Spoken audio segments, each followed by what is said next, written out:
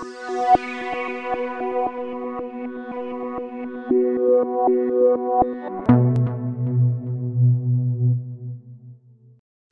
and welcome. In this video, I will introduce you to the value of wastewater and biomass, and I will give you some insights into the infrastructures and processes for recovering nutrients and carbon from human waste. In every city, a lot of biomass, defined as the material derived from recently living organisms, is generated. A city's biomass is made up of food and food waste, the food consumed by you that ends up in the wastewater, green waste from gardens and urban agriculture, as well as other sources related to industry. Biomass and wastewater contains the major macronutrients as well as carbon. So let us look at the composition of wastewater every one of us is producing every day by showering and peeing and pooing. The average wastewater in Europe contains about 14 gram uh, per person a day of nitrogen, 2 gram of phosphorus and about 5 gram of potassium plus about 110 gram of organic matter, which contains large amounts of carbon. Currently, this household waste is mainly collected as so-called municipal sewage, where urine, feces, water from the kitchen and shower are mixed together. Mostly, this wastewater is then treated to remove the nutrients from the wastewater. In this process, some of the nutrients, such as phosphorus and potassium, end up in the solid fraction, the sludge, while the majority of nitrogen is emitted to the air in various forms, some of which enhance climate change or air pollution. Similarly, the carbon contained in the wastewater is to a large fraction emitted to the air and lost from the wastewater.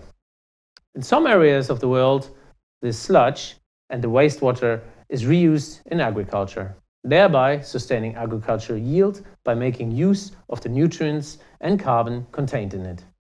However, there's a risk associated to this.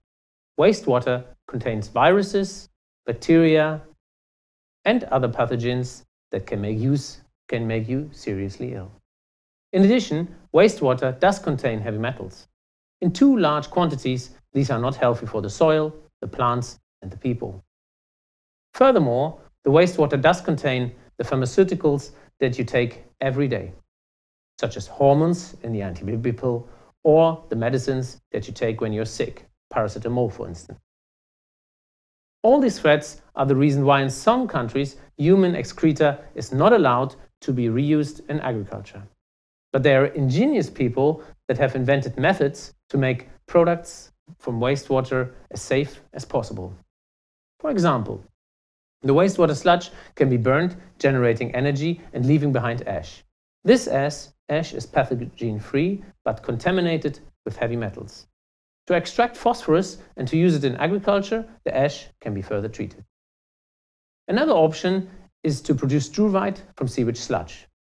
It is produced by adding magnesium to the sewage sludge, which leads to the precipitation of struvite, crystal that contains nitrogen and phosphorus, shown here.